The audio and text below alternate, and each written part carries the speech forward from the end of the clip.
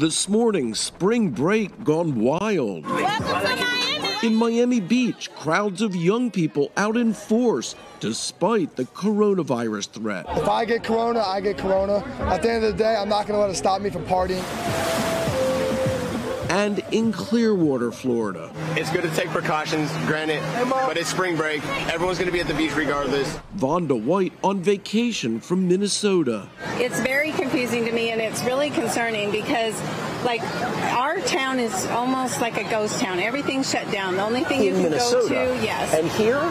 Here it's like honestly nothing has changed. Florida's governor refusing to close beaches, instead repeating CDC guidelines. Avoid groups larger than 10. Beachfront establishments also open. It's an epidemic, but living in fear is no way to live. Some beaches in Florida are shut down by order of local governments. Why aren't we closing our beaches? And on Wednesday, Clearwater voted to close its beaches too. What's my reaction? You're gonna. What's the what's spring break without a beach? But the closure not in effect until next Monday. If we delay this, how many of us will get sick? How many may die? It's not just Florida beaches packed with spring breakers. Hotspots like Port Aransas, Texas, and Gulf Shores, Alabama, also busy. President Trump issuing this warning. We don't want them gathering, and I see they do gather, including on beaches and including in restaurants, young people.